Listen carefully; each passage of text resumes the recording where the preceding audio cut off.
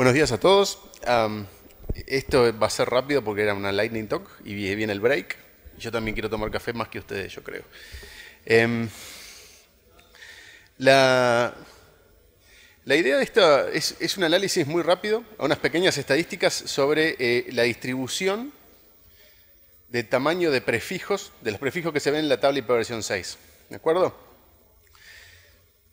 Alguno se puede preguntar por qué. Yo contestaría por qué no, porque es interesante. Pero lo otro es, ¿qué pasa? En IPv4, los que hemos configurado hemos tenido que vivir en, el mundo de configurar BGP, tenemos más o menos claro qué tamaños de prefijo filtrar, qué cosas no son razonables tener en la tabla de enrutamiento y qué cosas sí son razonables. Por ejemplo, todos filtramos cosas más largas que un barra 24. ¿Sí? Ahora, en hiperversión 6, está claro que uno no debería ver cosas más largas que un barra 64, pero del barra 64 para adelante está mucho menos claro. Si ustedes ven las políticas de asignación de todos los RIRs, van a ver que se habla de un default que puede ser un barra 32 para un ISP, un barra 29 en el caso de RIPE, y un 48 para un end user. ¿Sí? Ahora, entre el 32 y el 48 hay una distancia enorme. Entonces, hay un temor que yo tengo en particular, no sé si es un temor compartido, de cómo puede evolucionar la tabla de hiperversión 6 si eh, no se tiene demasiado cuidado y si sobre todo no hay demasiadas guías claras de cómo filtrar.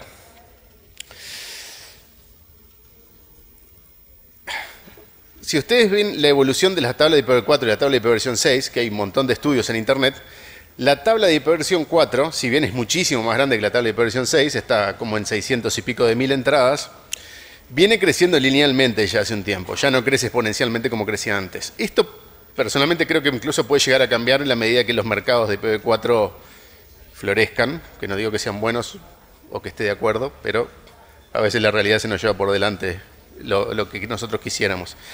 Pero el tema es que la tabla de hiperversión 6 sí está creciendo exponencialmente. Si bien, dependiendo de un- desde donde uno la mira, pueden ser 20.000 entradas o pueden ser 35.000 entradas, o sea, es una tabla relativamente pequeña, viene creciendo exponencialmente eh, desde, hace, desde hace varios años ya.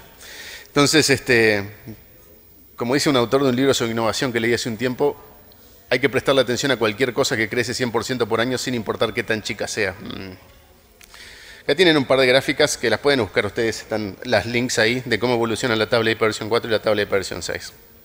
Entonces, bueno, eh, yendo a los números concretos. Yo hice el mismo análisis mirando la tabla de hiperversión 6 desde dos puntos de vista. Ustedes saben, y es una realidad conocida en Internet, que las tablas de enrutamiento dependen desde el punto de vista de cada uno. No es lo mismo la tabla que yo veo desde Montevideo que la tabla que veo desde aquí o la tabla que veo desde algún nodo en Europa. Entonces tomé dos fuentes de información. Una es la tabla de hiperversión 6 que recibo de mi carrier en Montevideo, que, eh, palabras de mi carrier, él me da full routing de hiperversión 6. Yo le creo. Y entonces recibo de él, recibo 21.000, depende un poco del día, varía, ¿verdad? Pero bueno, en el día que yo corrí esto, habían 21.769 entradas. ¿Sí? Y la otra fuente de información que usé es la tabla de IPv6 compilada por RIPE en un proyecto que se llama RIS, el Routing Information System, que es una red distribuida en el mundo de sensores que juntan tablas de enrutamiento y ellos hacen un agregado. ¿sí? Entonces, naturalmente, la tabla que ve RIS va a ser más grande que cada tabla individual que ustedes puedan ver. La tabla de RIS también varía con el día. Cuando yo corrí esto, habían 38.176 entradas en la tabla de hiperversión 6. Entonces, ¿qué fue lo que hice? ¿Qué es la tabla de enrutamiento, verdad? La tabla de enrutamiento tiene prefijo, el largo del prefijo, y el next hop. En este caso no me interesa demasiado el next hop, lo único que me interesa son los largos de los prefijos. Entonces, lo que les voy a mostrar ahora es una serie de histogramas mostrando la acumulación de esos prefijos en los distintos largos, ¿no? ¿Cuántos prefijos caen en cada largo? Y entonces, de acuerdo a lo que les contaba, de esa, digamos, de, esa, de ese espacio que existe, o de esa, si quieren, de ese barranco que existe entre el barra, tre- entre barra 32 y el barra 48, lo que hice fue hacer histogramas, bueno, hice uno completo, que es, ahora se los voy a mostrar, es el primero, y después lo que hice fue histogramas mirando determinadas partes, determinados rangos de la tabla de enrutamiento. Me fijé los prefijos entre 9 y 64, que sería casi el total, curiosamente van a ver que no es el total, entre 9 y 31, o sea, desde los más cortitos hasta la primer frontera, hasta el primer elemento, digamos, el primer punto de acumulación, que es el barra 32, del 33 al 47, o sea, uno antes del segundo punto de acumulación, que es el barra 48, y del 48 en adelante. Y lo que me puse a ver es los prefijos que caen en esos, en esos rangos, qué total o qué porcentaje del total de las rutas representan.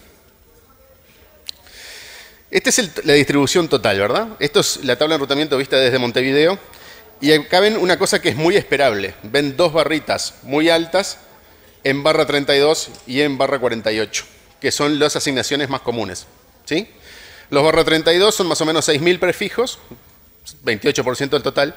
Los barra 48 son 9.800 prefijos, alrededor del 45% del total. Acá ya hay un síntoma de algo que está interesante que es que si ustedes agarran los default de asignación, ahí tienen ya un casi un 70% de la tabla de enrutamiento. Eso es bueno, eso es súper positivo. Quiere decir que la gente no está desagregando demasiado y que las, zonas grises, digamos, o las zonas desconocidas de la tabla de enrutamiento no representan, a lo sumo representan un 30 y poco por ciento de la tabla de enrutamiento. Entonces, bueno, ¿Qué hay en, esos lugares que yo le llamé las zonas desconocidas? Acá van a tener el histograma azul es la vista desde Montevideo, el histograma rojo es la vista agregada desde RIS. Van a ver que las formitas más o menos se parecen. Los prefijos más cortos que un barra 32 son poquitos. Son, en un caso, desde, visto desde Montevideo, son el 5% del total y en el agregado de RIS son menos, no llega al 1%. ¿sí? O sea, hay relativamente pocos prefijos más cortos que el barra 32.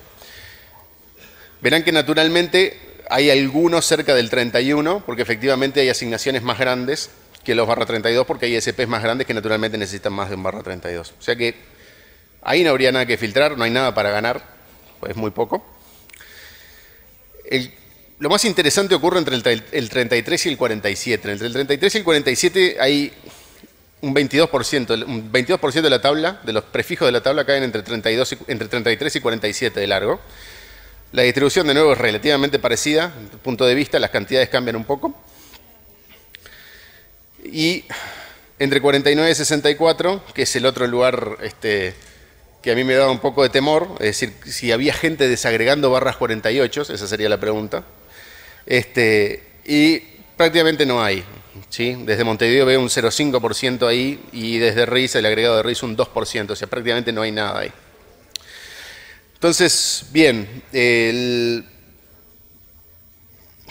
pueden repasar estos histogramas y, después ver si, comparten esta conclusión. Al día de hoy, la tabla de versión 6, o sea, la conclusión es positiva, ¿no? Capaz que ustedes estaban esperando algo apocalíptico viniendo de acá arriba, pero en realidad mi conclusión es positiva la tabla de hoy se ve bien. O sea, las cosas que uno esperaría que donde se acumule el grueso de la tabla de enrutamiento es efectivamente donde se están acumulando. Y la zona rara esa, entre el 33 y el 47, no representa un 20 y algo por ciento de la tabla, que no es demasiado dramático. En la medida que se mantenga entre esos límites, en realidad parece que no habría que preocuparse por mucho más que filtrar por eh, cosas más cortas que el barra 48. ¿Sí? O que el barra 64 incluso. Em, Ahora, es una cosa que a mi juicio conviene seguir estudiando y analizando para ver cómo va a ir cambiando, porque el IP versión 6 sigue estando en una etapa bastante temprana de su despliegue, cosa como pudieron ver un poco en lo que estaba presentando Jordi recién. Entonces, en la medida que estas cosas se mantengan así, no hay que preocuparse demasiado, pero me parece que es algo que hay que prestarle atención. Si les gustaron los histogramitas, este, ahí les puse en GitHub, les subí el script que usé para hacer eso, y de hecho subí los archivos de datos que usé por si alguno este, está muy, muy aburrido y quiere verificar este, los gráficos esos que hice. Este, siéntanse libres de usar eso. Le van a ver que es en un formato un poco raro. Es una, extensión que es IPINB, porque estoy usando una herramienta que se llama Jupyter, que está genial, en la cual uno embebe este, scripts en Python en una especie de documento. Entonces, el contenido del documento se recalcula que ustedes lo cargan. Está 10 puntos. Este, así que bueno, muchísimas gracias.